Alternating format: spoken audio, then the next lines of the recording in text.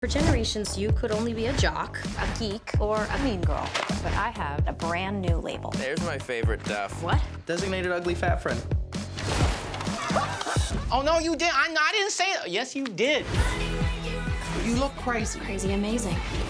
How could you guys not tell me that I was your duff? Or what?